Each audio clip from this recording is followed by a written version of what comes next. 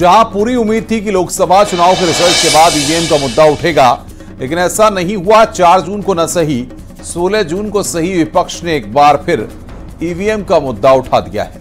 कांग्रेस सांसद राहुल गांधी का ईवीएम पर सवाल है। सोशल मीडिया पर उन्होंने लिखा है कि आखिर बिजनेसमैन एलन मस्क की पोस्ट को टैग करते हुए राहुल ने लिखा है कि भारत में ईवीएम एक ब्लैक बॉक्स की तरह है। किसी को भी उसकी जाँच की इजाज़त नहीं। अखिलेश यादव ने भी ईवीएम पर सवाल उठा दिए हैं। अखिलेश ने लिखा कि पूरी दुनिया ईवीएम पर सवाल उठा रही है। बीजेपी बताए ईवीएम की जिद के पीछे की वजह क्या है? जिसके बाद बीजेपी ने इस पर करारा पलटवार भी किया है। आपको इस रिपोर्ट के ज़रिए दिखाते हैं कि ईवीएम को लेकर अब ये लड़ाई कहाँ तक पहुँची है।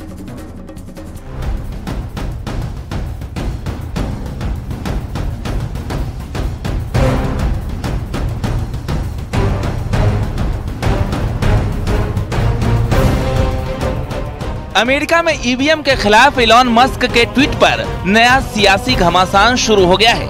इलॉन मस्क के ट्वीट के बाद कांग्रेस नेता राहुल गांधी ने ईवीएम पर एक बार फिर से सवाल खड़े किए हैं। सोशल मीडिया प्लेटफॉर्म एक्स पर राहुल गांधी ने पोस्ट किया, भारत में ईवीएम एक ब्लैक बॉक्स है और किसी को भी उसकी जाँच करने की इजाज़त नहीं है। हमारी चुनावी प्रक्रिया में पारदर्शिता को लेकर गंभीर चिंताएँ जताई जा रही हैं।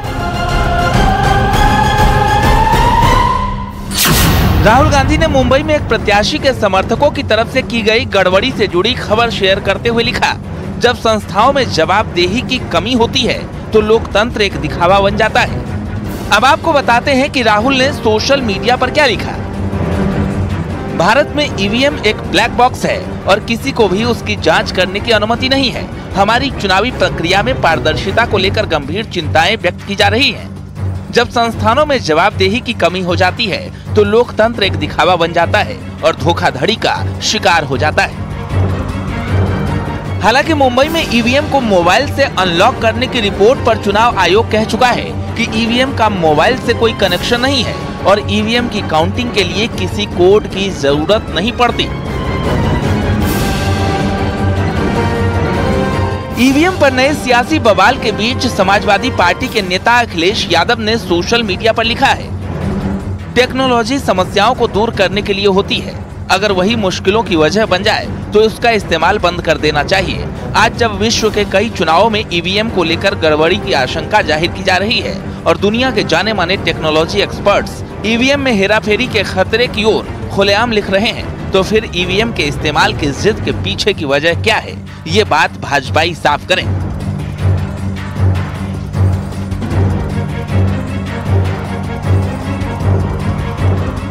टेस्ला के सीईओ एलन मस्क ने ईवीएम पर सवाल उठाने के बाद से हड़कंप मचा है। मस्क ने दावा किया था कि ईवीएम को हैक किया जा सकता है। इसे अमेरिकी चुनावों से हटा दिया जाना चाहिए। हालाँकि मस्क ने अपने दावों के समर्थन में कोई सबूत नहीं दिया है। मस्क ने ये बात अमेरिका के राष्ट्रपति पद के उम्मीदवार रॉबर्ट एफ़. कैनेडी जूनियर की एक पोस्ट को रिट्वीट करके कही, अमेरिका में नवंबर में राष्ट्रपति चुनाव होने।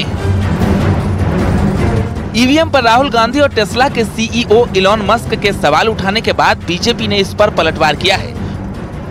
बीजेपी नेता राजीव चंद्रशेखर ने सोशल मीडिया प्लेटफॉर्म एक्स पर एक पोस्ट कर एलॉन मस्क के दावों को गलत बताया। राजीव चंद्रशेखर ने लिखा कि एलोन मस्क का विचार अमेरिका और अन्य जगह पर लागू हो सकता है, जहाँ वो इंटरनेट से जुड़ी वोटिंग मशीनें बनाने के लिए नियमित कंप्यूटर प्लेटफॉर्म का इस्तेमाल करते हैं।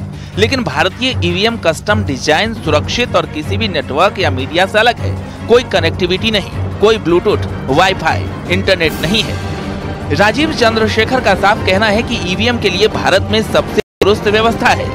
अब देखना है कि ईवीएम पर शुरू हुआ ये नया विवाद कहाँ तक जाता है। न्यूज़ एटीन के लिए ब्यूरो रिपोर्ट।